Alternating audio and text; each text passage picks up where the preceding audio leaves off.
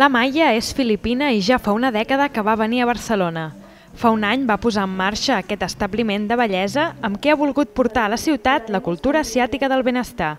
A The Oriental Jasmine els productes són orgànics i les treballadores també són filipines. Aquí puedo compartir la cultura que tenemos en Filipinas. Toda la gente, para prevenir la enfermedad, vamos a desestresarnos. Entonces, para desestresarnos, vamos al masaje, porque pensamos ahí que la, la, las enfermedades vienen de, es, del estrès. És un dels comerços que formen part del projecte Nou i Bo que ha desenvolupat Pimec Comerç.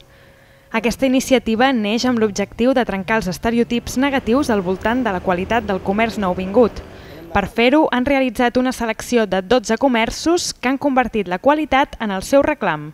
Hi ha comerç nouvingut que ja no és comerç nouvingut, perquè de vegades hi ha molts d'aquests comerciants que porten més anys que els propis comerciants que eren aquí, que tenen uns comerços d'excel·lència, un servei magnífic i una acceptació per part del consumidor totalment normal. Un altre exemple n'és aquest obrador a la vista, on s'hi fa pasta artesana seguint la tradició italiana.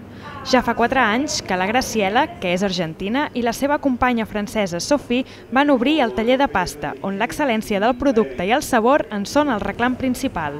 Lo que intentamos hacer fue eso, introducir la calidad que se ha desarrollado en Italia, introducirla aquí y luego adaptarla a, a recetas locales. Somos gente de fuera, pero que nos integramos en un, en un paisaje urbano y local que, que tiene mucha predisposición a acoger ese tipo de proyectos. Uns establiments que enriqueixen i perpetuen la diversitat del comerç barceloní.